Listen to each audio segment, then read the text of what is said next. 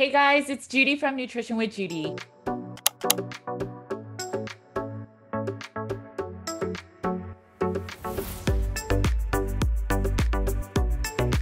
Thanks for joining me today. While you're here, please make sure to like and subscribe. If you're listening to this on podcast, please make sure to leave a review as this allows my content to get in front of more people. And thank you for that. My name is Judy Cho, and I'm board certified in holistic nutrition. I focus on root cause healing, and oftentimes I start with the Carnivore Cures meat only elimination diet. Okay, so today I had the pleasure of sitting down with Dr. Bruce Hoffman. Dr. Bruce Hoffman focuses on so many things, and he really tries to get people that are suffering with chronic illness to root cause healing and truly heal people to a place that they can have a better life as you listen to this conversation, you'll see that it gets very complex. There are layers of healing, and he is not somebody that will sugarcoat things in a sense of you just need to do this and therefore you will heal, or you need to do that, or you need to take this magic pill. It's not like that for him. And he's just very real in terms of chronic illness is difficult. Chronic illness can cost a lot, um, it can take a lot of effort and time and energy. But the point is that he says that there is hope and that you can heal but there are certain things that you just need to go through and it takes time and diligence and the fortitude to want to heal. Sometimes it's working on our mental health and working on traumas from our past or even limbic system retraining and focusing our brains to not be as heightened in a immune response or a fight or flight. And it could even be deeper than that and working on somatic retraining I will put a lot of the stuff in the show notes, but this is a very important conversation, especially if you're dealing with chronic illness. You've been to so many different doctors, you've done so many different modalities, tried different diets, and nothing is fully working to get you better. I talk a lot about CIRS as I spoke with Dr. Eric Dorninger, and we continued from that conversation to talk about little nuances about some of the medication as well as how it combines with limbic system retraining and other things. What I want you to really get out of this conversation is to understand that healing is very comprehensive, but if you want it enough, and if you try enough and you do these things, that there is a way to get to root cause healing. I know that sometimes it may seem like our lot in life where illness is just prevalent, but it may sometimes be that we need to focus on healing our past traumas, as well as even the way that we are viewing the world. As Dr. Hoffman brought up, we often think about 60,000 thoughts in one day. How many of those thoughts are actually making you sicker or unwell or in a negative state? that's then bringing that into your life instead of healing and the belief that you can actually heal. So while this conversation isn't the easiest, I think it's the most real and most open and genuine that you will find in terms of really trying to heal chronic illness so that you can have a better chance at optimal health. Dr. Bruce Hoffman is board certified and he has a fellowship in anti aging medicine as well as a master's degree in clinical nutrition. He's a certified functional medicine practitioner.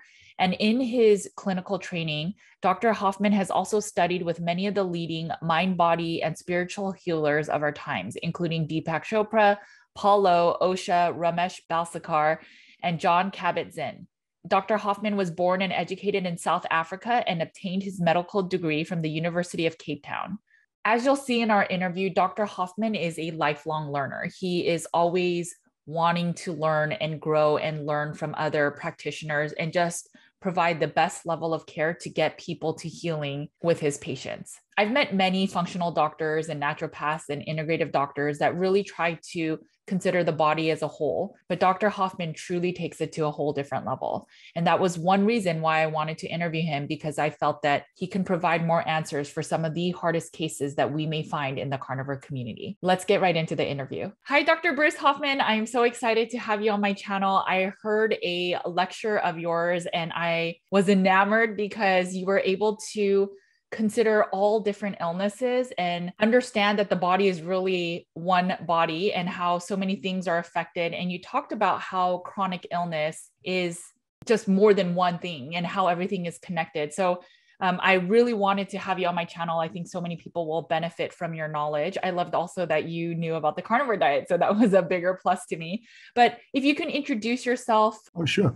So I am a South African trained MD. Um, graduated from the University of Cape Town, where the first heart transplant was done.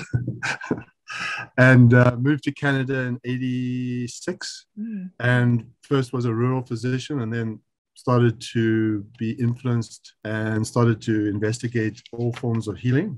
Um, having been originally exposed to Eastern philosophies and religions as a, as a teenager by my high school teacher, Roger. And so when I found myself in medical school, and then when I started to become a family physician, I started to visit some of the ancient healing practices that I investigated as a teenager and some of the philosophies. And then all of a sudden fell across Larry Dossey and Deepak Chopra and all the leaders in the field and went and met them and studied with them and then just kept expanding my diagnostic paradigm and therapeutic paradigm wider and wider to incorporate as many levels and layers of the human experience as I could and then fell into Ken Wilber's integral theory of everything and once you start you know once you start looking at external and internal and, and individual and cultural, and you just start looking at all the determinants of illness, you end up with a very large roadmap, if you will. And I eventually ended up taking the um, Ayurvedic roadmap of the the the koshas, the bodies that people seem to have. So if you look at the ancient Vedantic texts, they say we're not just a physical body, we're we're a physical body that's constantly in exchange with the external environment. So we're always exchanging atoms, you know. Right. As Deepak likes to say, we've got you know a million atoms of Attila the Hun in us, Jesus Christ and Hitler. You know? we're constantly exchanging information. So, so the first level of the of the paradigm I use is the external world of air and and water and earth, and that incorporates all the toxicology because we're in touch with that, and it it interfaces with our second level, which is our physicality, our biochemistry, and our structure. And that's what we do in traditional medicine, in functional medicine, chiropractic, and, and all the therapies that to, to do with structure and, and, biochemistry. And then the third level is to you know to do with the um, energetics, the electromagnetic fields, as we've learned from Carl, uh, from Albert Popper and, and others, that our uh, light emits from our body in a coherent form from DNA. So DNA squeezes light and it emits, and there's a standing wave around us, which is either coherent or incoherent. And it also resonates with Schumann resonance, which is the sort of resonance of the earth. But then you've got all the man made fields that are interposed upon it now. And then you have this dysregulation of the, our own innate coherent electromagnetic fields. And that's correlated with the brain and the autonomic nervous system. So I have a brain treatment center where I do QEEGs and we do heart rate variability studies and stress response testing and that's the sort of the brain and the autonomic nervous system is the is the sort of gateway between our internal experiences and our external world. It all eventually comes through the brain. The brain sort of records everything that our internal dialogue our 60,000 thoughts a day right. our values our perceptions are all run through the system. And we know that our thoughts and beliefs influence our biochemistry and our immunology and our cell receptors so the fourth level is the emotional body. So trauma plays a big role in that, as we know. And this is very real. Uh, people with early developmental trauma, attachment disorders, either neglect trauma or abuse trauma or disorganized attachment, they have much higher um, negative sort of health outcomes and they have a much more difficulty in self-regulation. And self-regulation in the parasympathetic state is, is the healing state. And if these and if these individuals with you know early separation from mother or early neglect trauma, if they don't develop a sense of self, they don't have an ability to self-regulate. And that sets the so-called HPA axis in this heightened state of of hypervigilance and inability to self-regulate, which then shuts down the vagal tone and so forth and so on. So that's fourth level is the emotional level, and then the fifth is the ego-based, the part of our, our reality that sort of gets us through life. Mm-hmm. You know, our ego-based um, ability to negotiate the slings and arrows of life is based on the resilience or the fragility of our ego self, which is very much the first half of life drivers. You know, we are driven in the first half of life by the ego to be a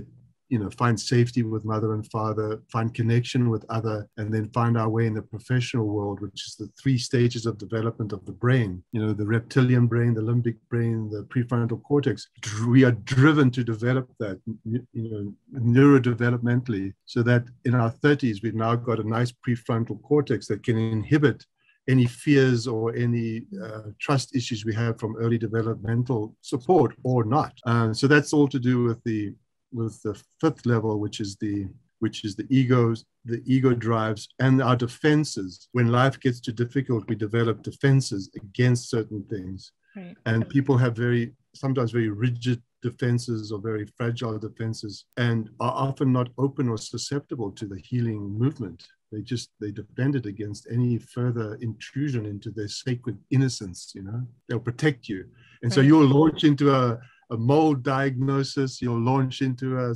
MARCoNS and Lyme and whatever you want. You'll be working at level two with toxicology and physicality. But if that person's unconscious belief system is shutting out and defending them against any sensitivity or any vulnerability, you can work until you know the cows come home you're not going to penetrate that, that system that person. And you've got to be subtly aware of defense structures internal dialogue value systems. You've got to know those subtleties i think in order to best help that person. Because if a person's sitting in front of you and they don't trust you you can work till you can run tests till the cows come home nothing's going to shift in that system. Well, the sixth level is the soul, um, second half of life, the, the, authentic self that we often leave behind in the first half of life pursuits. You know, we go out and find safety and companionship and educate and safety and we slay the dragons the drives the, the freudian drives right. you know the bitterness drives the adlerian drives to power but carl jung came along and said the real drive is to know yourself and that only sort of starts to surface in the in the second half of life when all the machinations and twisting of your psyche to get your needs met in the first half of life you leave your authentic self behind in order to get seen and met and, and to get educated. But then in the second half of life you got to go and reclaim all the parts you left behind right. in order to get where you were going. So that's soul driven and the soul is personal and collective uh, and families, the family soul. We now know from early, you know, family constellation work that was initiated by Bert Hellinger and uh, and and taught by others, including Mark Wolynn, uh, who does fantastic work in this area. That we, when we're born, we not only get exposed to our parental influences, which have a, the whole set of determinants in the fourth level, but we also inherit um, epigenetically the experiences and emotions of our ancestors. And so you've got to like diagnose and treat ancestral inheritance of early experiences. And that's another whole subset that we look at. And in Jungian psychotherapy, we look at the individual soul. What is what what is the most authentic and instinctual core of this human being that's sitting in front of you? What is being asked to manifest? Because symptoms, as I've said in other webinars, symptoms are not, they don't fall out of the sky, you know. They, they're teleological, they have meaning and intent. And sometimes symptoms, whatever's silent in the system, in, in your psyche, will often show up as some form of illness or tragedy or bankruptcy or betrayal or whatever you want. And symptoms are like that. They, they're often pointing to that which is unseen mm. in your evolution. So if you lose symptoms as just things to get rid of, you know, suppress the mast cell response. um, as opposed to why are the mast cells active? Is it because the child was never safe with mother. So she they developed mast cell activation as a means to, to keep people at a distance with the skin rashes and the eczema. I'm not worthy of being touched, so I will keep my defenses. So symptoms can be teleological in that way. And if you don't ask that question, you often miss the boat. And then the seventh level is everything beyond uh, ego-based pursuits. You know, we in the infinite universe, the uh, evidence for our insignificance is rather overwhelming. Mm. And uh, and so sometimes we have to sort of give up our hubris and arrogance and, and know that in the vast scheme of things, just give thanks because we really don't know what's going on. You know, there's something, there's some divine intelligence that's manifesting that we need to be humble to, you know. I, I love that. And so I'm sure the people that are listening, it's it makes sense a lot of what you said. It's it's really everything that we have experienced but it's also a lot of what we don't know and and it includes the brain it includes mindset it, it could include religion and even just ancestrally a lot of the things as well. The question becomes then i mean we or western medicine is all about like you said it's you have a symptom it's how do you alleviate that symptom, yeah, symptom. And most of the people listening to this and watching this know that that's not good enough right? We need to figure out why do i have pain so that i don't have to take that anti-inflammatory medication. But beyond that, then we go to naturopaths and functional doctors and they say, it's an autoimmune or it's thyroid related. And again, it's treating a certain thing without considering all of the things that you just mentioned. Yeah. So, if we are for example struggling with chronic fatigue, how do we start like where where do we journey and how do we start getting to root cause because most people that are consuming this information understand we do need to get to root cause but yeah. it gets confusing of do I need to treat the limbic system first? Do I need to get out of the environment that's um, I'm struggling with mold? You know, where do I start? Because I really just want to heal and I don't want to waste my money in this journey. But from everything you said, it's it's complex. Complex. it's complicated. So I I can only tell you what I do. I don't know if this is correct. I don't, you know, it just works most of the time with. I'm sitting in my office here, and three feet from me is where patients sit, or six feet, and I take histories. So I, you know, I have a methodology of doing that. So I have a 70-page questionnaire, and I ask, and I read everything on that, and I take the history from that. And my question is is set up so I can quickly go through. What I do is ask first of all, what are your top symptoms, and I write them all down. And I go through fatigue, cognition, sleep, dentistry, and then all the systems. And then I look at hormonal issues of male female diet um, psychological development uh, family systems uh, spiritual practices so i go through all of those and I, I try and do it as quickly as I can. It takes two to two and a half hours to take a history. And then what, but the thing is to attune to all the un, unsaid cues. You got to, you got to, you got to limbically relate with the individual in front of you, and you got to look for hidden cues and symptoms because it's not just knowledge. You know, it's yeah. it's it, it's limbic resonance. It's it's you can't only use your thinking function. You got to use your feeling function as well.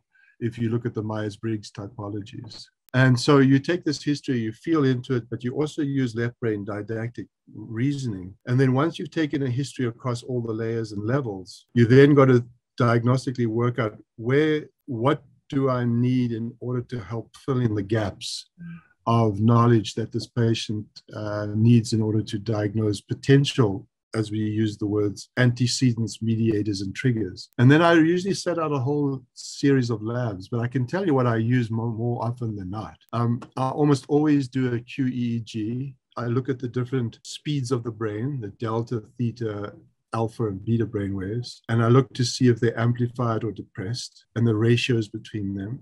I look at the autonomic nervous system through heart rate variability. I do bioimpedance studies looking at fat, muscle, uh, fluid content. Um, look at the phase angle to see if the cell membrane is intact. Then we always do, never forget this piece, always, always. Like if, if there's one thing I'm passionate about is this one. Always do the NASA lean test, the 10 minute lying and standing test. Oh, okay. Because I tell you, 20 percent of people have POTS. Right, right. Get really dizzy. And and you won't treat anybody with, unless you get the POTS under control. There's oh, no way. Yeah, yeah, yeah. So do the lean, you know, do that test. Uh, my staff are trained to do it on everybody, and we train patients to do it at home. Mm. And so many have POTS. Uh, yeah. I also do a neuroquant MRI. Mm-hmm. We're looking at different parts of the brain. Uh, we pixelate different frontal lobes, you know, temporal lobes, looking at the caudate nucleus, gray matter, white matter, and looking at the amygdala, because you'll see amygdala hypertrophy from traumatized people who are highly stressed and anxious. And also look at the thalamus, because the thalamus is richly innervated with mast cells, is rich with mast cells. And, and so we look at these different parameters. Then I do all the sort of functional, I do standard labs, everything I could possibly get my hands on that hasn't been done before. And you'll often find all sorts of things, you know, find thyroid antibodies that nobody's looked at before, or you'll find, you know, TSH levels that are sort of suboptimal with a low T3, which if you just tweak that things improve. You'll find prolactinomas. You'll find, you know, pituitary microadenomas. You know, you'll find these things if you really keep your diagnostic net quite wide. I always do a Panorex dental x-ray and then get a 3D cone beam and get a dental opinion on everybody. If somebody's had a head injury, I always get a NUCCA chiropractic assessment of C1, C2. And if there's any suggestion of craniocervical instability, I send people off to that group of people who specialize in that, like Dr. Bolognese and others. And then on the functional side, I do food sensitivities, not just IgG, but IgG, IgA, okay. IgE, and I do the lymphocyte sensitivity test as well. Oh, wow. And I look at the trends in it. I don't look at one. T- People come with the IgG4 test. It's, it's, it's hopeless, you know. So I look at all of those. I do many stool tests. I do the GI maps. Mm-hmm. I do the Genova stool test. I do the Dunwoody or Precision Lab zonulin, HisDAO, um, histamine levels, and the lipopolysaccharides. I do that. I do the EnteroLab test if I suspect any gluten issues, looking not only for the, the genes, but looking for uh, tissue transglutaminase antibodies and fecal fat malabsorption. I also do um, SIBO testing on half my patients, because most of them, huge majority, if they have a history of bloating, uh, SIBO's always a role. But there's SIBO, there's SIFO. Now I've coined the term LIBO, large bowel bacterial overgrowth. LIFO, these are the words we use. You know, you got to treat them all. And then you look at vagal tone, the whole motility issue, and that's through heart rate variability and specific devices we use. Then I look at the, I use the ion panel I know some people use the uh, but I, the ion panel I can read in 15 seconds and look at amino acids, minerals, antioxidants, fatty acids. But for fatty acids, I mostly look at the Kennedy Krieger BodyBio fatty acid panel for omega 3 6 distribution, saturated fat distribution, the ratios between them all, and look to see if the lipid content of the cell membrane is high or low. Because if the lipid content is low, like minus 25, minus 30, and you go put people on binders for mold, you're going to crash that patient like instantly. So I look at that. I look at fats. Uh, we look at the organic, the oats, the part of the ion panel. I do oats testing. I do the Great Plains oats heavy metals and the mycotoxin test, but I, I'm really moving away from the mycotoxin testing because there's so much bad medicine being practiced with that test. It's, it's, I think it's, uh, I think Richie Shoemaker for all of his, you know, he's, he's, a, he's got some certain opinions about things. And one of the opinions he has is on the mycotoxin test not being indicative of CIRS, chronic inflammatory response syndrome. And on that, he's incredibly correct. You cannot go and diagnose mold illness based on a urine mycotoxin testing. Don't even begin to tell me you can. You know, you can't. And it's it's bad medicine and I wish it would stop, you know.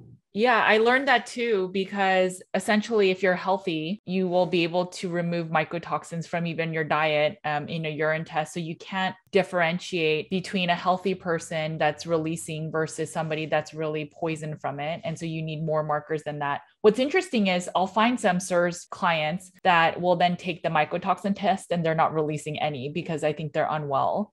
And so that part of it is interesting, but you're right. The test itself is not enough. But well, they, have done testing with healthy controls, and the healthy controls have the same mycotoxins in yeah. the urine because they had corn and uh, pizza the night before. Yeah. Right. You know, if I was your patient and I didn't have all the funds to do all that testing, is there a baseline you can start with with based on my symptoms, maybe running some of the lab tests, maybe not all of those, because that's a lot. Well, I haven't finished yet.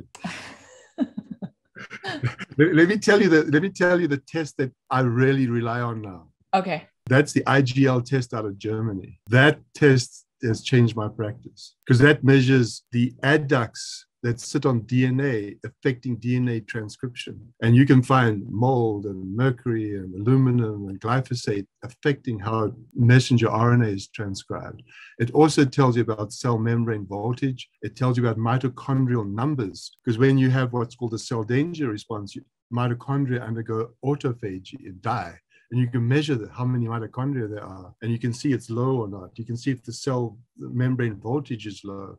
You can then look at superoxide dismutase and glutathione levels. You can look at phosphatidylcholine, phosphatidylethanolamine, the outer and inner membrane of the cell. and you can see how depleted they are. You look at cardiolipin synthase and whether that enzyme is making cardiolipin and on and on and on. It's just a fantastic test. It also tells you about, it gives you a lymphocyte sensitivity test to mold, fungal elements and metabolites. So you can see if mold is sitting on the DNA or whether there's fungal metabolites or fungal spores in the bloodstream to which the lymphocytes are sensitive. So I find that very helpful. Now you'll often find people with a mycotoxin test in the urine that's negative, but when you go and look at the DNA, there's mold, micro, mold spores sitting on the DNA affecting, you know, um, transcription. Wow of messenger RNA. And that person is often far sicker than the one who's got mycotoxins in the urine is excreting them. Right. So, you, in answer to your question, what tests do you run and how do I do it? Well, I've got to the stage in my career where they everybody who comes to see me now, it appears, has done lots of these things, you know, but never never enough. And so I say, look, here's what I need. Here's the tests. I also do Cyrex antibody testing. I do the neural zoomer antibodies to brain, you know, I, uh, I do all the ArminLabs, mole, uh, Lyme testing and IGeneX if I have to. So I say, here's what I need to complete your diagnostic profile. And my staff then send it to them. And then it's their decision with their budgetary restrictions. I try not to interfere with that because some people have funds, some people don't. If they don't have funds, I then try and adjust my practice accordingly. But then you've got to adjust their expectations as well because they'll always come with you and say, Oh, I've got I've got mold illness. Look at my mycotoxin test. And then you take a two hour history and they've got 50 other determinants of being unwell. Right. So then you give them the diagnostic roadmap to give them the, what you believe, I believe is the insight into that. But then they aren't, you know, they aren't, so they don't have funding. So then you try and work with what you can, but you've got to taper your expectation and they've got to taper theirs. And that's a tricky relationship with people, you know particularly they've been traumatized because if they don't trust what you're saying they're going to project all their distrust onto you and then they're right. going to you know they're going to it's tricky it's a tricky relationship working with ill people not always but it can be. Yes yes. So l- let's let's talk about an example of SIR, somebody that has the genetic haplotype there all the blood markers that dr shoemaker brings up like the mmp9 tgf beta 1 msh they're all low or they're all high in the high ways that right. So msh is low the other markers are extremely high. And their environment isn't the greatest because they don't have the funds to really fix the environment. But then then i meet people that are limbic system retraining specialists and they talk about how they force their body to rewire their brain and and be able to get better even in an environment where their ERMI score isn't the best so you know you talked about all these layers of health yeah. How do we know that if we were to just pull the layer of trying to manage the brain and how it reacts to stress, like what if that will just heal some of the other areas, even if in test they're off? Tricky, tricky dynamics. so if you take the history, there's water exposure. Yes. You do the ERMI testing, that's positive, you know, all HERTSMI-2, above 10, right. and they got all the bad ones. And the, the symptom questionnaire, they've got, you know, 25 symptoms in 13, uh, 12 clusters, and they fail a visual contrast test. And then you do the Shoemaker markers, and the TGF beta is 10,000, the C4A is 20,000, MSH is five, you know, and the person is highly reactive to the mold that they're exposed to. I don't believe that you can only do DNRS or Gupta's retraining program and treat them with that methodology. I think that methodology is important when the amygdala gets sensitized and is hyperreactive to the incoming biotoxins. But I do think you've got to work biologically to downregulate the innate immune system while addressing the amygdala hyperreactivity at the same time. And often you've got to work synergistically. Yes. But there's even a deeper layer that the DNRS and Gupta training program mm. often don't get to the hidden defenses of the individual who's hyperreactive because they're protecting the, the last vestige of their innocence, which never got traumatized. And they are so defended against anything that could be perceived as toxic that they can't downregulate the amygdala because the trust is not there. And they can't trust anything. And that's when you need to go into internal psychotherapeutic work. Uh, and you can't just work with dynamic neural retraining or Gupta program. You have to address the defenses of the individual. And so it's tricky, but it can be negotiated.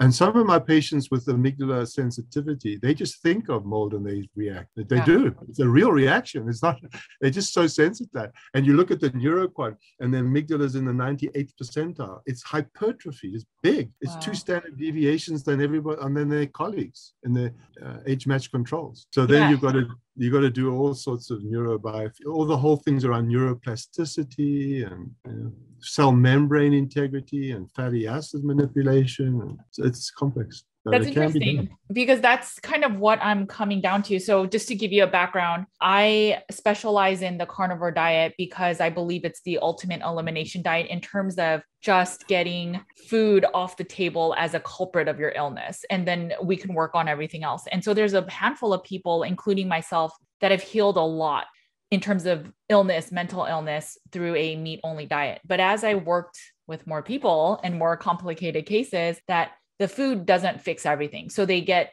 a lot better, but not enough that they feel better. And so they start working with me, and I started noticing there were people that had this CIRS, and I fell into Shoemaker's work. We started testing some of the markers, and they had the genetic type, they had all the markers we just mentioned.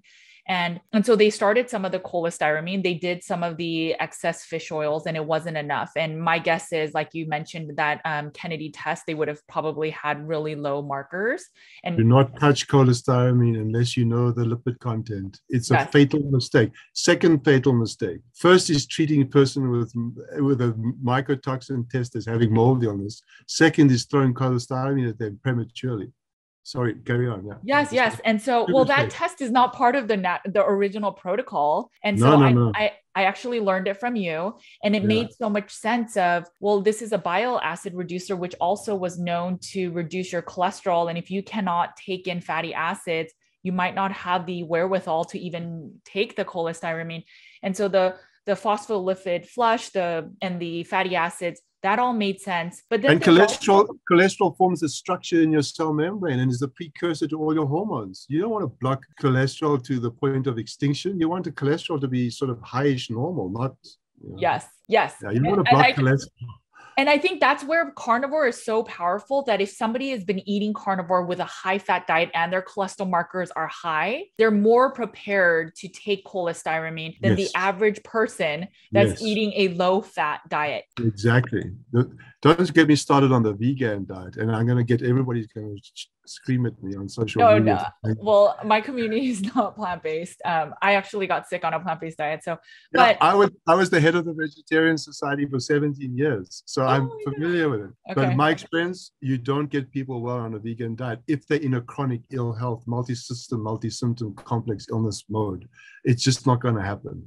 Right, right, and I and I fully agree with that. And so what happened was some of the people as they got diagnosed with CIRS they started going into the excess research of what do I need to do? Now I need to be super mindful of every building I go into. And, you know, that fight or flight mode just really high gear of stress and um, just being in their illness all day long and i think those people then using the the limbic system retraining so it seems like it's a lot of these modalities together that can actually heal people more a lot than, of them together yes most of those people, and I say this generically and somewhat, I hope it doesn't come off as sort of prejudicial, but a lot of those people with the limbic hyperreactivity are, have trauma.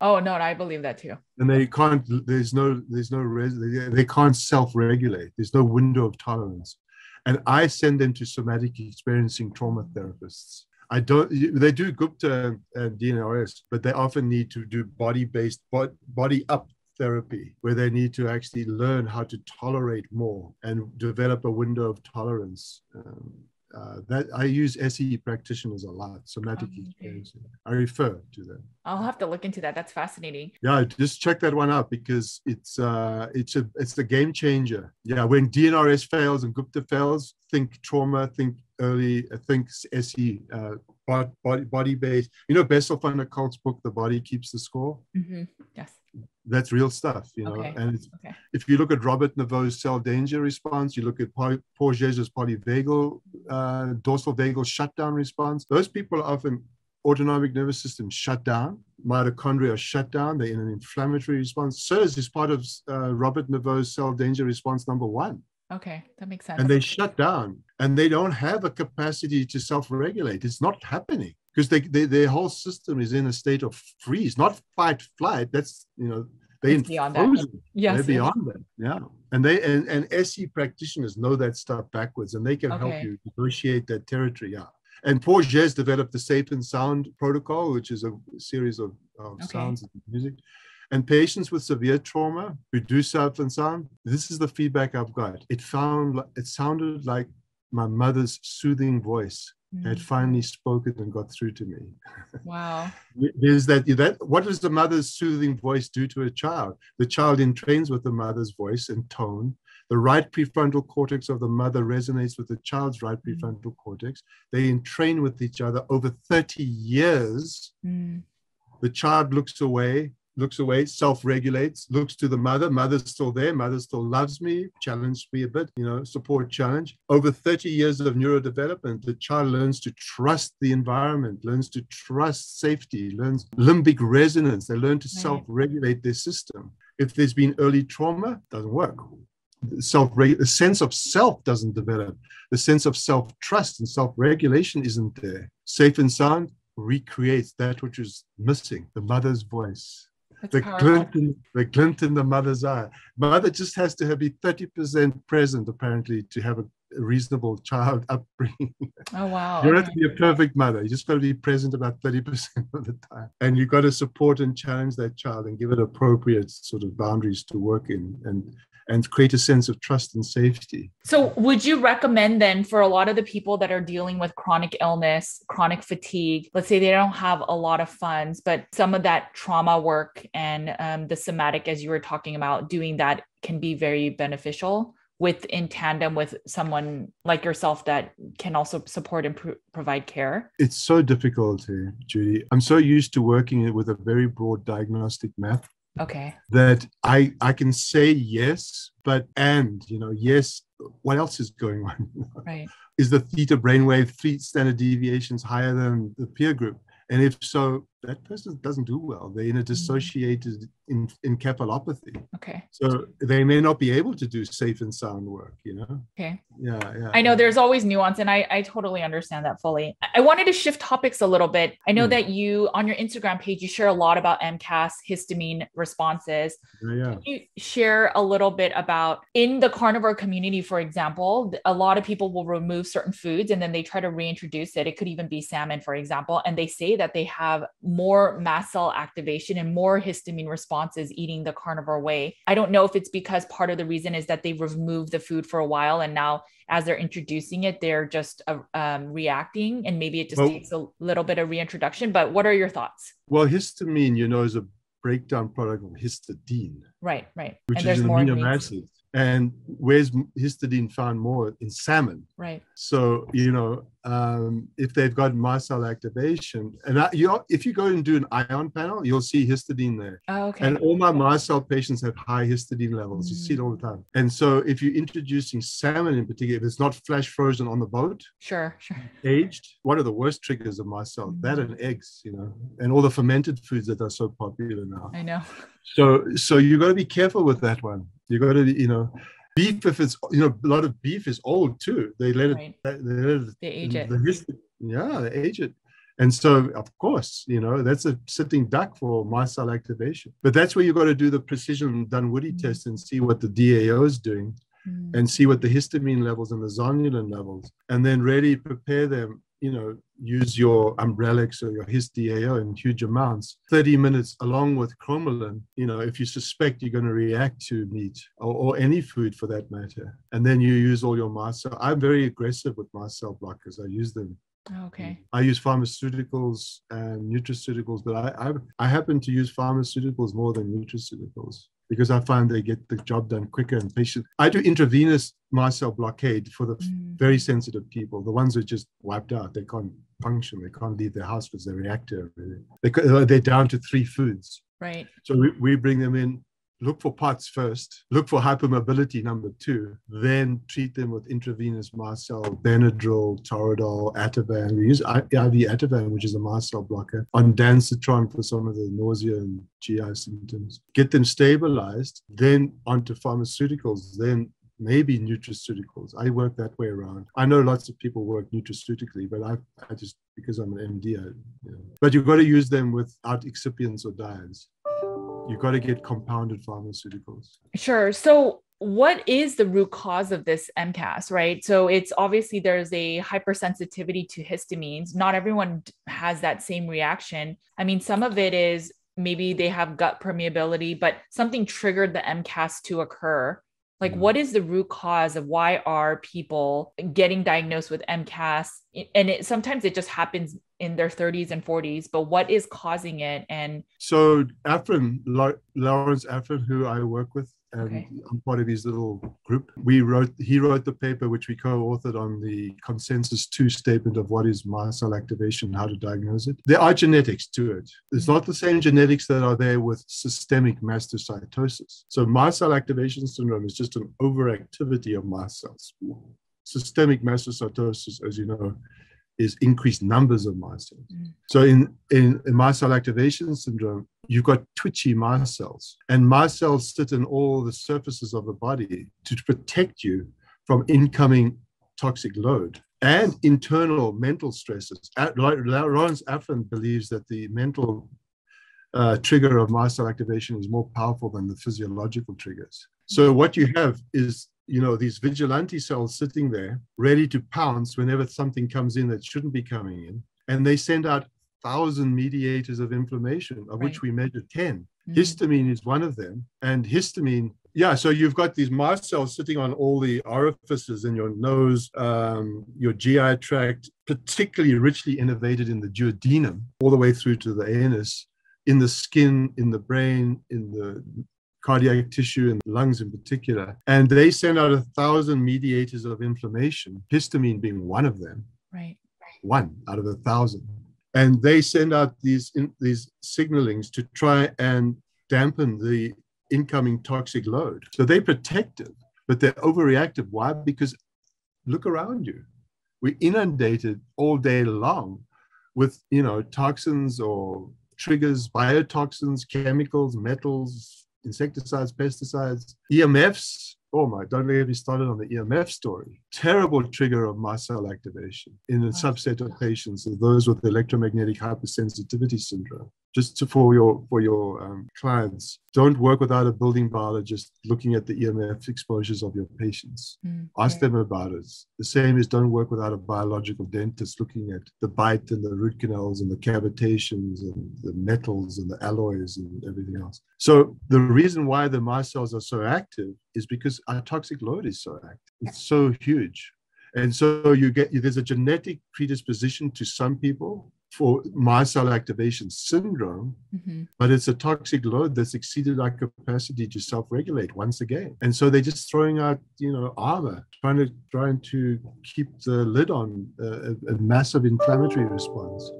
But they trigger mast cells trigger oxidative stress. They trigger peroxynitrate. What does peroxynitrate do? It rips through your outer membrane and your inner cell membrane, phosphatidylcholine, phosphatidylethanolamine, gets to your DNA, your mitochondrial DNA. Mitochondrial DNA unravels, goes outside the cell with ATP. Wow. Outside the cell, they become pro-inflammatory and they then they call purines they then trigger cell activation to trigger peroxynitrate and all of a sudden you're stuck in an inflammatory response you can't get out of. So that's the cell danger response, which is so beautifully described by Robert Naviaux. Again, for your audience, please don't go far without knowing his work backwards and forwards. Yeah. Sure. And I'll put that in the show notes. Yeah. So then do you think if people get out of the toxic soup and they change their environment, work on some of the trauma, you know, and I'm saying it so simply, I know it's not that simple, mm-hmm. but that we can actually reverse some of the MCAS so that our bodies are not oh. reacting oh. as much? Oh, absolutely. Yes. Okay. Absolutely.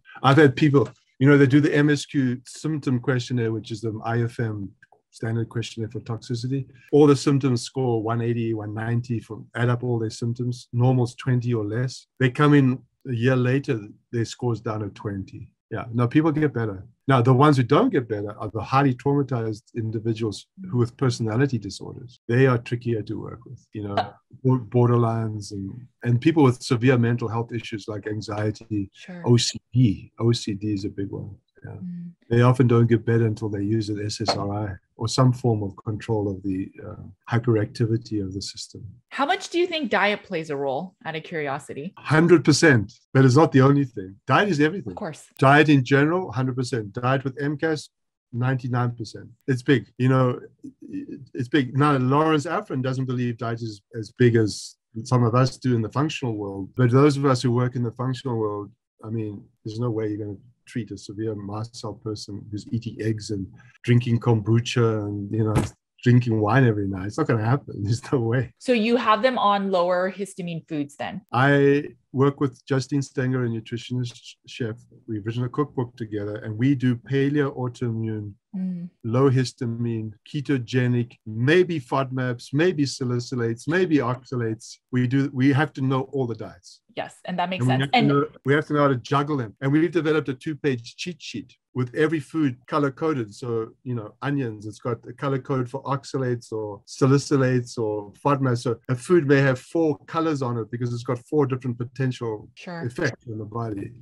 And to try and work that out, you've got to look at your food testing. You've got to take your history because the food testing doesn't tell you about mast cell necessarily, but Right. you'll see trends showing up quite a lot. You'll see pineapples in there, kiwis in there, candidas in there. Mm. A lot of the beans are in there. A lot of the beans are always in there. It's fascinating. Yeah. And so you just look at trends and you try to think it through and you look at their diet and, and you eventually work out what to do. But I think the mildly ketogenic paleo autoimmune low histamine is where we sort of trend towards to restore the cell membrane integrity and repair mitochondria. Yeah. And that's where I love the carnivore diet. I mean, obviously, I have my biases, but so I know that there are foods in the carnivore diet that are high histamine. But if you were to remove those, so let's say the eggs, let's say some of the fish, but if you were to focus on mostly meat based, and then, um, I mean, it's so similar to the paleo. It's just, I think, I, I forget if the autoimmune paleo contains nuts. I don't think it does, but maybe it does. Um, well, you take out all nuts in the paleo. autoimmune. Okay, okay. I, I include three uh, three of the non-histaminic nuts sometimes, just in the beginning: Brazil nut, pine nut, and I always forget the third one. Is There's it nuts that- uh, macadamia. Okay.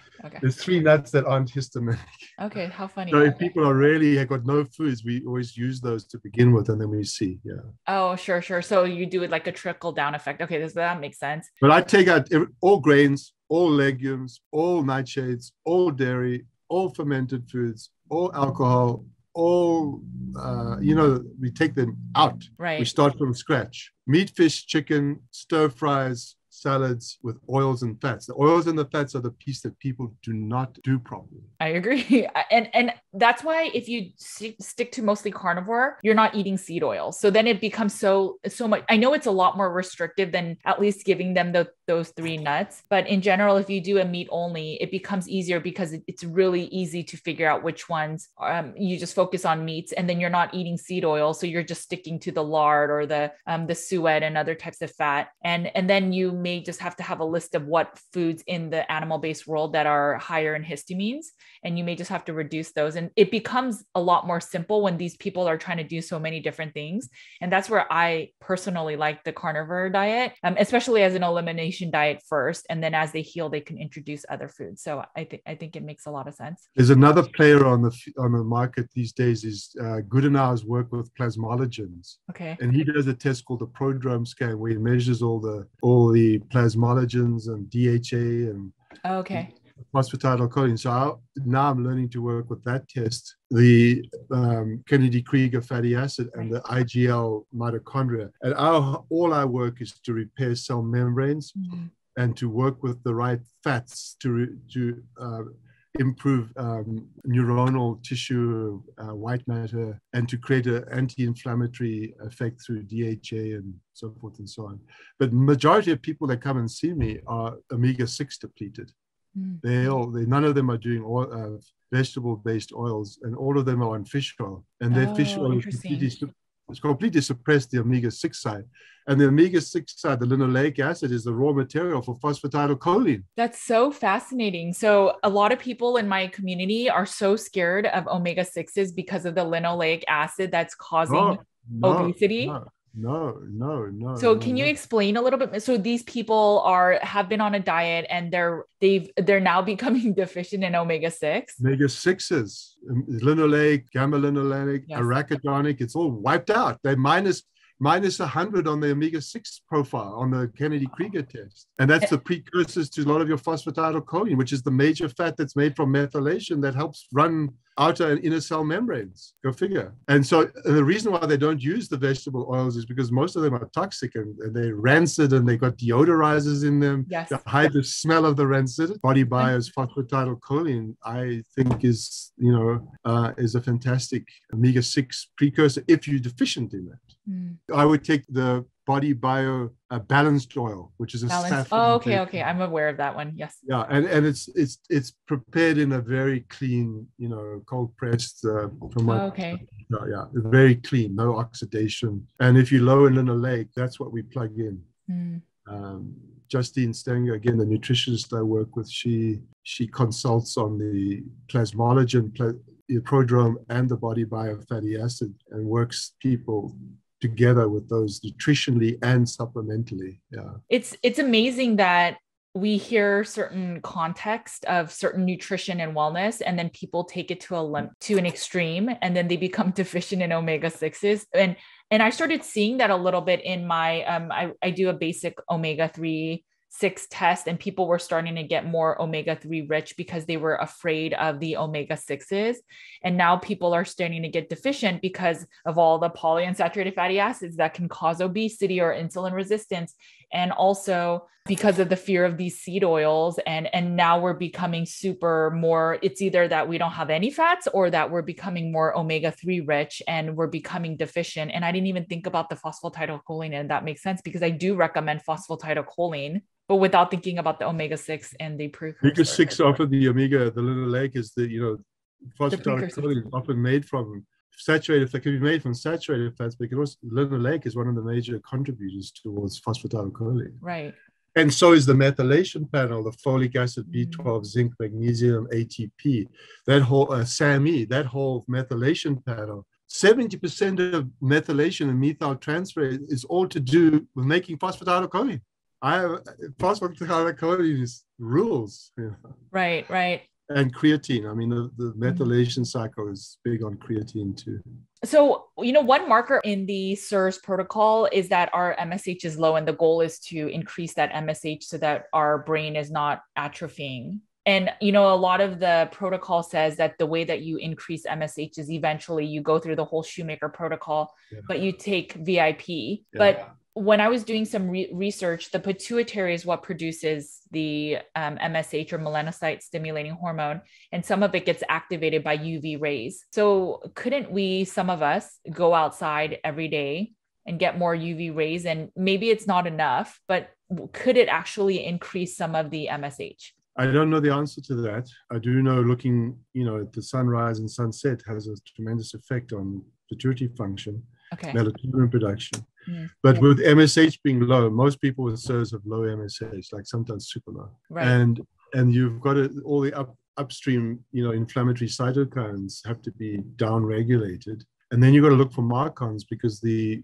you know the nasal staph is what suppresses the MSH. Right. So you've got to treat the MARCoNS first. But treat the MARCoNS, down regulate all the up, you know, all the steps, get them out of the toxic thing, out of toxic building. And some people are now using peptides mm. you know, to help treat the MSH. Oh, melanotan, yeah, peptide. Mm. But again, that you see, that's an N squared, D squared thought process. Yes, yes. Name, name of medicine, name of symptom, name of drug. Yes, it's true. It's not like that. You've got to look systemically. How do I remove everything that's suppressing MSH? Right. And then how does MSH naturally start to find its way back up? Yeah in your patients do you ever see them fully heal and their markers all normalize over time if they follow no, the no, no, absolutely. Oh yes. Oh yes. Oh yeah. And and white matter lesions in the brain disappear. How much do you think the environment needs to be pristine? Because that's the biggest thing I get the hang up is it's nearly impossible to have an environment that's has zero mold. So it depends on the level of amygdala sensitization Mm. to that patient and the level of trauma and the level of trust. It's, it's algorithmically complex. So some people who have, they are, say, HLA positive, but they've got good ego strength and have resilience, they can tolerate a lot more Mm. than somebody who's, you know, in Ayurvedic terms, vata imbalanced, Sure. fatty acid deficient, sympathetic dominance, or in polyvagal shutdown. They can't tolerate a lot. And so they just look at our building. And if they just catch a whiff of a, of a musty smell, they are in a full, you know, Flare. surge reaction. Yeah. It's so individual. You never know. That's so fascinating. And that makes a lot of sense when I think about my individual clients, how certain people are a lot more resilient, even though they have the haplotype. And then Yeah. other ones, just the fact that they have a split second where they feel, finally, I have an answer. But then the split second later is, oh no, I have this haplotype. And then they start reacting. So mm-hmm. it is interesting. because you see CIRS you can often not be exposed to mold but CIRS in and of itself is the disease that you now have right. you have a chronically active innate immune system that is now your problem and you may not be living in a moldy environment but you haven't gone through the steps of reduction of the of the biotoxin that originally was there that triggered the whole CIRS response in the first place Right. Right. and that's what Naviaux called the cell danger response. You're mm-hmm. stuck in the cell danger response. And Robert Naviaux brilliantly said we need things, he called the word cellulogenesis. You need to input therapeutic signaling to change the, the cell danger response. You can't just hope to get better one day. You've actually got to do things, you know. What are some of the examples that he um, that Robert Naviaux recommends to improve the cell danger response? Well, he's a researcher and he used the Okay. drug ser- which is a uh, an old drug that you can't get. Oh, okay. And blocked the, the receptors for the um, DNA fragments and ATP fragments for triggering this whole cell danger Oh, response. okay. Okay. But he also did all the work on what are the biological changes on the cell danger response. And what is the one that is most consistent? Phosphatidylcholine. Phosphatidylcholine is big. That is so crazy because I do, I have been adding that before people even consider cholestyramine. So maybe do some of the omega 3s. And I, I did see that balance of the omega 6, 3, 6, and I wasn't sure if I was going to use that one. But, and then I thought of the phosphatidylcholine for the membranes, but it's so fascinating. I'll, I'll definitely have to look more into his research. Many people overdo the DHA component of omega 3s. Yes. or the EPA. Now, the, I don't. This is Dr. Goodenough's research. I'm not sort of up on it as much as I should be, okay. but I do know that alpha linolenic acid and EPA are signaling molecules, and they don't do much for the whole equation. It's the DHA that does everything. Okay. So he has a plasmalogen, DHA specific plasmalogen, but you can overdose on DHA as well. Right. So everybody who comes in with this omega, you know, three six index that's off the chart for omega six, they're in danger of being very deficient in some of the essential fats to regulate cell membrane and mitochondrial functioning. So I wouldn't go off those simple tests. I would I would look at Kennedy Krieger or the uh, fatty acid test. Okay. No, no. Even the i- even the ion panel fatty acid test is not robust enough. Sometimes it even contradicts the Kennedy Krieger one. That's fascinating. Okay. Okay. No, good to know. A question about the ERMI test. So um, I had a client that took a, you know, like a, I think it's just a air sample from a person that normally, you know, sells homes and they do the mold testing. And then I told him that he should, pro- and his, so his house came out clean. And then he did the ERMI test and his number was maybe in the 20s. And I told him that you have high mold and that the other test is not really accurate. The first mold inspector came back and showed a link to the EPA saying that ERMI tests are not supposed to be used. Yeah, yeah. What are your thoughts of the testing? So the answer to that question, you know, the one you, the person you want to read who's done so much work is Ritchie Shoemaker. He's Okay. really dissected this issue backwards and forwards, Okay. and he did a series of uh, articles in the Townsend Letter, which you just Google it, one to five on mold, and he discusses that question in detail. Okay. And so the World Health Organization has come out saying that the air sampling test is irrelevant. Mm. Uh, it's worthless and meaningless because a you've got to circulate air through. First of all, a lot of the toxins aren't in the air; they're on the ground. Secondly, the particulate size of the of the the spores or the mycotoxins are lower than 0.3 microns, and they pass through the they pass through the Oh. device. You don't pick them up.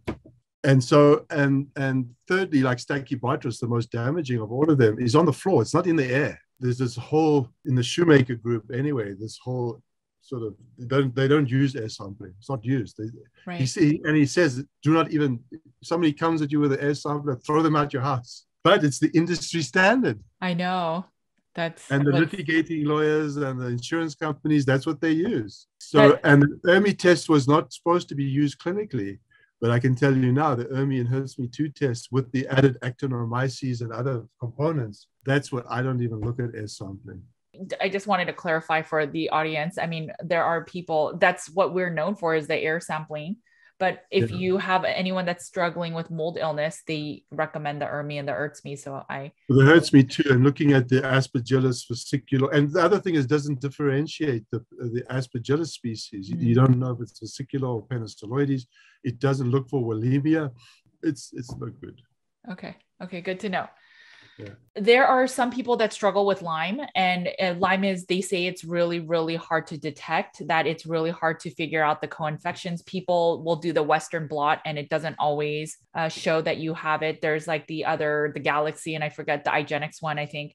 But do you recommend a certain test that people can figure out if they have Lyme? No, and I and I, it's just such a again. I mean, I I think uh, one word that's coming out of my mouth repeatedly. It's complex, and I hate to say that, but it's complex. I know.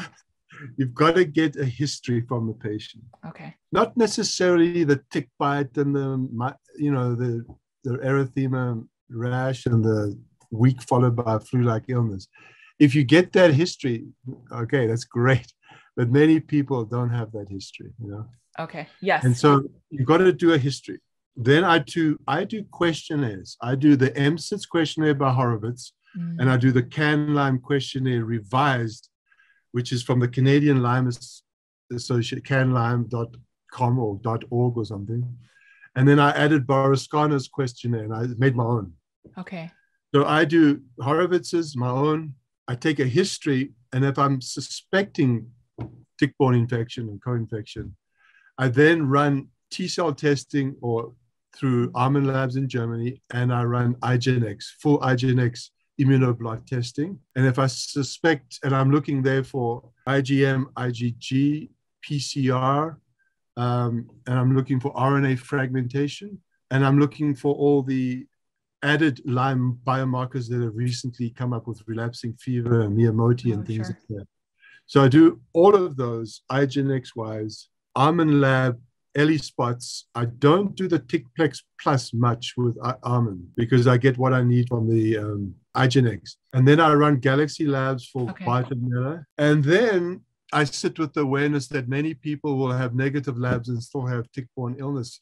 And that's the sort of current teaching amongst one of the all the pioneers Mm, in Lyme world, which is vilified by the uh, IDSA Association. There's no such thing as chronic Lyme. right. The you know the testing's irrelevant. It's a it's a mess. It's a minefield. And what I do know is that many people come in with a you know an IgG IGeneX Lyme test that's on one of the bands and say I got Lyme. It's like coming with the mycotoxin test and saying I got Right. Okay. that's a perilous uh, mistake Okay. to make. Okay. You've got to really, you got to have your wits about you from a num- for a number of reasons. A, if you, the diagnostic testing is expensive. Yes. B, patients love to find single point causation. If they say you've got Lyme, you're going to send them down a rabbit hole of two to four years of whatever treatment you choose. Sure. And C, you are going to be vilified by your traditional colleagues if you're not sure footed on this one.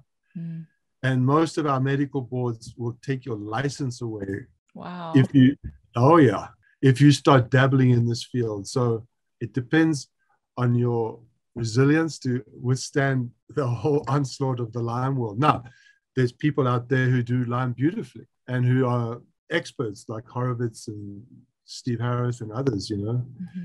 And I recommend you probably go to the the most prominent, most qualified, loud, you know, most outspoken expert in the field and go treated by them. But to be treated by an inexperienced naturopath or right. who's been to one ILADS course and has one test, I, be careful. Yeah, it's a perilous path. Um, okay. Yeah. As we're closing, if people are, you know, have tried many different diets and they're just not getting fully better, and you know, standard care has uh, really not been doing good for them, and diet helps somewhat, but not enough, and they're just feeling chronic fatigue where where should they start? And like what should they do to maybe incrementally start getting better? Should they save up money to work with somebody? I mean what are your thoughts? So a person who's changed their diet but still chronically fatigued? Yeah i guess mostly fatigue. Maybe they're still struggling with hypothyroid and they're i guess maybe we don't take talk about the hypothyroid because maybe they have to balance their medication but somebody that's just still not fully feeling well. And I guess the main symptoms would be chronic fatigue, maybe some brain fog, but just generally unwell. Julia, I hate to sort of be the bearer of bad news, but you got to do all layers, all levels. You got to take a history. You know, if so, so let's look at one of the variables. Yeah. A person may be uninspired. They're living a life, they're not living their value system, they're living their father's and they're having to get up and go to work every day, not inspired and not being called from above, if you will, by that which is speaks to them and evokes their creative spirit. Yes. And but they got a positive mycotoxin and a mold or whatever test you want. and then you start taking the history and you realize, you know, is this person what do they have to get up to every day? What what is what calls it? I get up every day and do what I do because I love to do what I do what's calling them from above to get up and do what they love to do? Why? Because the reticular activating system in the brain is designed to shut you down when you're not doing what you're inspired to do. Mm. So their fatigue may be just the fact that they're not living their value system, they're living their father's, or they don't even know what their value system is. They don't even know who they are. They've got no self inside. They're not inside. They don't know why they get up every day. They've got nothing that calls them from above. So, yeah, you can go and do the mold and the diet but they have no reason to get up every morning. And there's a lot of patients like that, you know. And you have to start appealing to that aspect of them, look at their value system and see what's inspired them. And some of them, you know, patient, uh, how many patients have you had? Chronic fatigue, sick, unwell. You work beautifully for two years. You go through every single test in the book. You do everything right, no better. And then you go and you find out they go away. And a year later, they come back and they're fine. What happened to you? I left my husband, I left my job, and I fell in love. How much of how many of us work in that? You know, we ask about that, but you don't know until the person has changed some of their experiences as to what role those played in their life. You may hint at it, sure. but until they, they get inside, until they change some of their determinants, healing is we know so little, you know, we know so little. Uh, and sometimes it takes sometimes it takes, if you will, an act of God. It takes, I don't mean that in a religious sense, but there's some movement that sort of enters their field that pulls them into a new experience. And all of a sudden they shift and their biochemistry shifts and the molecular signaling shifts. And they, they, they feel inspired and life's meaningful again. I don't know the answer to that question. No, I, I think that's good. I mean, for me, I struggled with mental health and depression, anxiety, I didn't like my job. It was a very well paying job. I traveled the world. Everyone loved the kind of work I did in that sense. But at the core of me, I hated what I was doing. It wasn't fun. I didn't enjoy it. Um, and and I s- struggled with depression. And so I changed the diet, and that helped me a lot. But it was really when I then found my purpose and yeah. um, and God had something to do with it too. Yeah. And all of that together has healed me a lot. So now I no longer share that it's just the diet because the diet helped me a lot. But it was like you said, it's all the layers. And I will always have something to work on in that whole sphere of things that you mentioned. But I think acknowledging that because a lot of my clients will say, I have stress. It's um, that's normal. This is just the life we live in nowadays. But I think it's making us more sick than we realize. Yeah, there's a term in the integrative field called the allostatic load, you know, Yes. the incoming load versus the resilience. And often that's, hmm, you know, and people are, often people are so habituated to living in the world in a certain way, they don't know any other way. And so they think that's their norm. Right. But then they go on holiday, they fall in love, they have another experience, and all of a sudden they go, that wasn't harmonious or coherent with my values. Now I can see, and only in retrospect can they look back and see. Or they leave a difficult relationship, you know. Sometimes people, through Myers Briggs typology or through attachment styles or Ayurvedic styles, they just oil and water, mm-hmm. but they try out of the goodness of their heart to make it work. And it's but the allostatic load of that relationship is pushed them out of homeostasis. Mm-hmm. And then something happens and that relationship breaks up.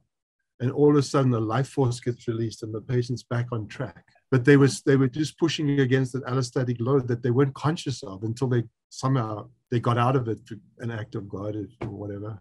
And they're now out and they look back and they go, Oh my goodness, how did I persevere for so long? it's a lot to think about and i love i love it because i've just found so many of my clients that this is the way to heal is they have to touch everything in their life and it's not easy and people want the magic pill to fix everything whether it's the diet a supplement a medication a test but i think from our conversation it's probably a difficult one to listen to because it's not that simple but if people really want to get to a level of healing that they can reach um, it's really looking into a lot of these layers that you so eloquently have brought up. So thank you for that.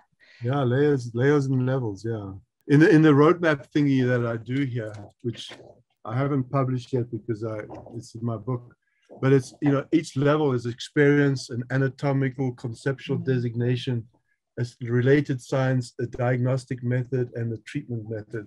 So at all layers, there's just there's sort of a template of possibilities, and many people go to the wrong level. You know, they go they go and see an acupuncturist when they should be seeing an oncologist mm. or they go and see a shaman when they should be going to see a chiropractor. So there's different layers and different levels. So try and educate as to what layer, what level, when, and how to integrate all the possibilities. Well, thank you so much for your time. If so, I know you're in Canada, and so this was my struggle: is I always need to find a service practitioner to work with my people that have the markers that need to start going through this journey. But you're in Canada, so one, how does that work with insurance if people are in America? Is your clinic open for new patients? So I, I do see new patients, but with the US patients, I act as an educator and Oh. guide and advocate because we, you know, we can't sort of practice across state lines, so to speak. So I can suggest and guide, uh, but they have to have a primary care provider that will implement suggestions and uh, advice. And then, do you n- normally have somebody in the states that you recommend? I recommend people go to the ICI website, I S E A I, and find a practitioner in the area that uh, has the most experience. Yeah. And so, where can people find you? Your clinic? um, in Calgary, Alberta, and um, I have a website that's got a lot of my blogs where I write about all these things, and that's the HoffmanCentre.com. Center is T R E, not the American E R. and then I think my staff may have sent you my Instagram thingy, and Yes, I'll I'll put it in the show notes. I know, I know you're busy. Okay, no, no, no. I, I understand. I, I have read several of your blogs, and you are so well versed and comprehensive, and I I was totally drawn to you because of that. So thank you for all your work. no pleasure. I'm glad you uh, were able to make use of some of the late night research. Yes, no, I get that. Trust me. Um, so I will put all your information in the show notes. I'm excited to just see people really take a look at their illness and um, take it to another level and look at the different layers. And I would, I'd like to say thank you to all the, you know, this saying that's a cliche, but the standing on the shoulders of others. But Dietrich Klinghardt, Neil Nathan, Ritchie Shoemaker, Larry Darcy, Deepak, all of these people that, you know, you just, you make your way in relationship to all that they've done before you. So we're not isolated in that way. And uh, it's good to say thank you to all your teachers and you know gratitude for what we can pass on and integrate and make new. You know, constantly reinventing the diagnostic and therapeutic uh, platform. You know. Yes, the goal is always the people and trying to get people better. And if we can fine tune someone's work, that's absolutely the goal is because we want people to heal So yeah, and and and advice. Just stay related to your patients, you know, through limbic resonance. Just, you know, the masks have done away with that, you know, but the eyes, the tone of voice, the, the connection. Uh, that's where trust gets established. And that's the, the hidden alchemy of healing, you know. That makes sense. Yeah. I love it. I believe it.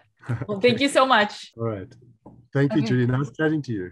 Okay, guys, I know that this interview is not the most rainbows and unicorns in terms of healing. It may be a long journey, but always have hope that you can heal. Sometimes it takes a lot more extra work than the average person that may eat a meat only elimination diet, but you can still heal. And there's a lot that you can do, even with all the nuances and depends and it's complex from Dr. Hoffman. He says that diet is 100% part of the equation. Carnivore is a perfect diet to do while you're trying to heal all these other levels and modalities in your life that you need to focus on. It's never really about the carbs, it's never really about the PUFAs, it's never really about those other things. Oftentimes, the illness is far deeper than that. In our conversation, one thing that was really fascinating was that Dr. Hoffman brings up how a lot of his patients, after having learned a lot about the damaging seed oils and the toxins in canola oil and soybean oil, are now actually showing up that they're really deficient in omega 6s. He talks about how we need some of these essential omega 6, such as linoleic acid, and the other omega 6s to even produce phosphatidylcholine.